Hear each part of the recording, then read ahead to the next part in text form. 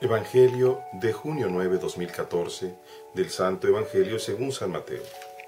En aquel tiempo, cuando Jesús vio a la muchedumbre, subió al monte y se sentó. Entonces se le acercaron sus discípulos. Enseguida comenzó a enseñarles hablándoles así. Dichosos los pobres de espíritu, porque de ellos es el reino de los cielos. Dichosos los que lloran, porque serán consolados. Dichosos los que sufren, porque heredarán la tierra.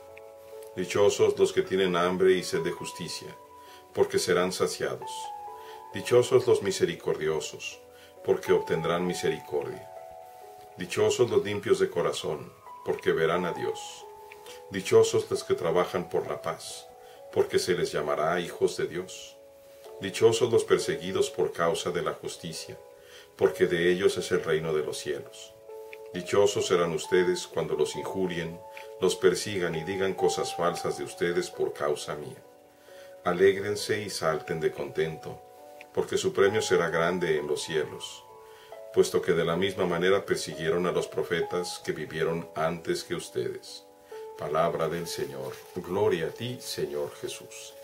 Entramos pues ya de inmediato a la semana del tiempo ordinario ya estamos en la décima semana del tiempo ordinario, saliendo de Pascua, ayer Pentecostés, y comenzamos con la contemplación de las bienaventuranzas según San Mateo. Nos podemos imaginar el momento cuando Jesús sube al monte de acuerdo a San Mateo. ¿Por qué al monte y se sienta? El monte significa lo divino y el hecho de que el maestro se siente es precisamente la cátedra, aquel que nos va a enseñar.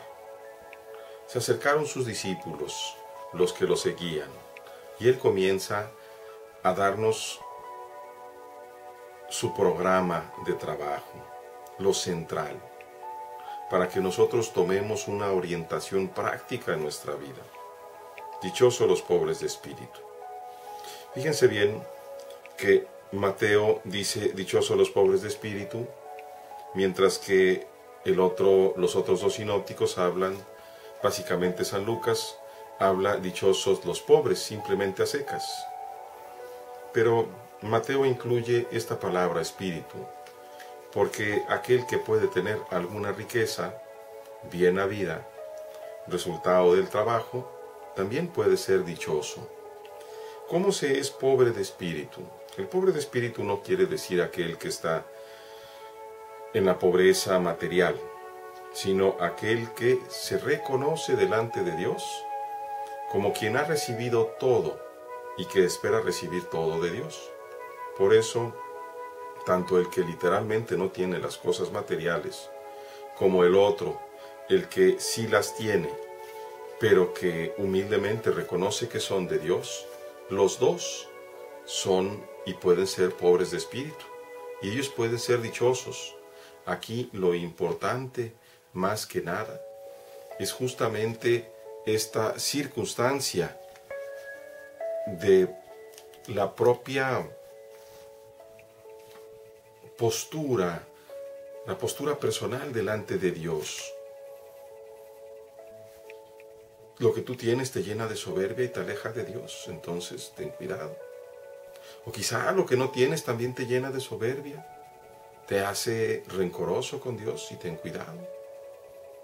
Tengamos o no tengamos, reconozcamos que cualquier cosa que tenemos viene de Dios. Y que si hemos de tener algo más, también viene de Dios. Dice, dichosos los que lloran porque serán consolados. Dichosos los que sufren porque heredarán la tierra los que tienen hambre y sed de justicia, porque serán saciados. Dios ha puesto en el mundo todo lo que nosotros necesitamos. Y algunos de nosotros, porque se les han dado más dones que son para nosotros también, y ellos los aprovechan para sí mismos, nos quitan o les quitan a los que son muy pobres todo.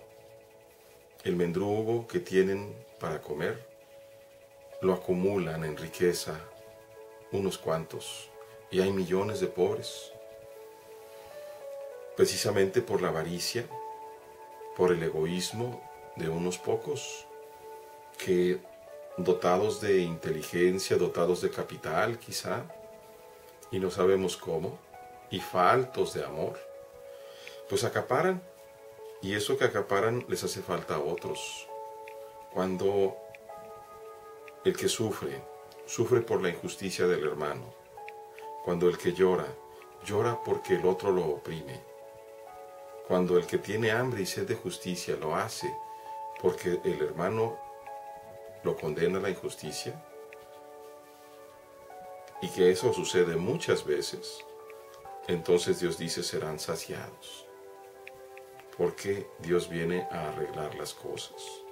Independientemente de este mundo, que nosotros, cada uno de nosotros estamos llamados a hacer justicia. De nada nos sirve decir que somos cristianos, que somos católicos, si somos injustos, si dañamos a nuestro hermano, si le quitamos el pan de la boca. Dichosos los misericordiosos porque obtendrán misericordia. Muchas veces puede ser que alguien nos robe, que alguien nos empuje, y nosotros en todo nuestro derecho tendríamos la oportunidad de exigir un castigo ejemplar para ellos. Sin embargo Dios nos dice, ten misericordia, porque si tú tienes misericordia con aquel que te ha ofendido un poco, tú que me has ofendido mucho, también serás objeto de misericordia. Dichosos los limpios de corazón, porque verán a Dios. ¿Cómo podemos limpiar nuestro corazón? Nosotros no podemos. El que puede limpiar nuestro corazón es justamente Dios, a través de la acción del Espíritu Santo, a través de nuestra oración, de los sacramentos, especialmente de la reconciliación, de la comunión del cuerpo sacratísimo del Señor. De esa manera, pidiéndoselo a Dios y disponiéndonos, es como Él nos pone un corazón limpio. Y una vez que comenzamos a tener limpio el corazón, vemos las maravillas de Dios y lo llegaremos a contemplar. Dichosos los que trabajan por la paz, porque serán llamados hijos de Dios. Qué importante trabajar por la paz, en tu trabajo, en tu escuela, en tu casa contigo mismo.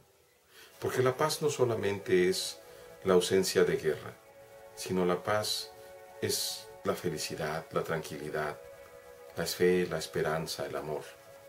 Es el resultado de la presencia de Dios. Es el resultado sobre todo también de la justicia y la verdad.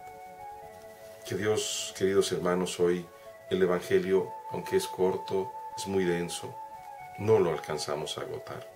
Finalmente nos dice el Señor, ustedes serán dichosos cuando los injurien, los persigan y digan cosas falsas de ustedes por causa mía. ¿Te atreves a dar testimonio, hermano, hermana? ¿Eres católico que te escondes quizá la cruz para que no nadie te dé alguna palabra que te contraríe, que te moleste? ¿Te escondes para hacer la señal de la cruz? ¿O eres capaz de afrontar la realidad del ser católico y enfrente de todos proclamas que eres hijo de Dios. Dios hermanos, estamos recién mandados con el Espíritu Santo a proclamar la belleza del amor, la belleza de la verdad y la justicia. Que Dios nos conceda a cada uno de nosotros viviendo según lo que nos llama Cristo. Dios les bendiga.